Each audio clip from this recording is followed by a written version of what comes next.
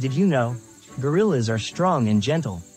Despite their formidable size and strength, gorillas are known for their gentle and peaceful behavior. The dominant silverback, who leads the family group, uses communication to maintain harmony and resolve conflicts within the troop.